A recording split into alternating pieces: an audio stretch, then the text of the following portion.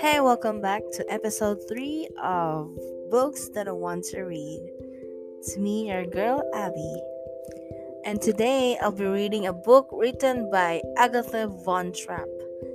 It has a 3.70 average rating with a total of 1,386 ratings, which was published in the year 2003.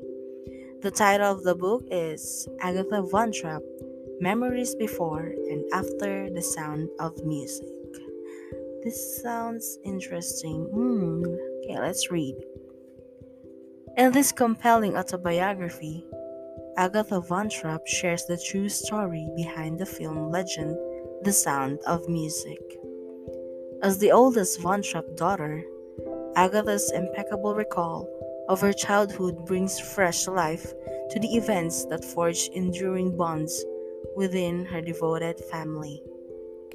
Her memories of her idyllic Austrian home transport readers back to the time before the Von Trapps came to America and reveal a close knit group of siblings who adored their gentle father and mourned the tragic loss of their mother.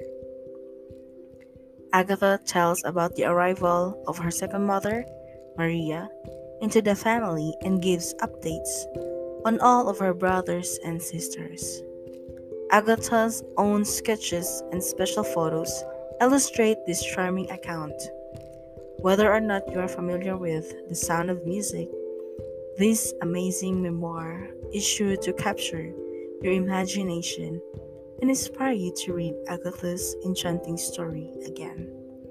So I never thought that the child of Captain Von Trapp would write a book about her memories or experiences before and after the sound of music. I wonder I wonder how they've been now. So I think this is a good book too. So I want to read this. I have put it on my list, so I have to read this. Okay, so that's it for today, y'all. I hope you have a wonderful day and stay safe. Love you all more.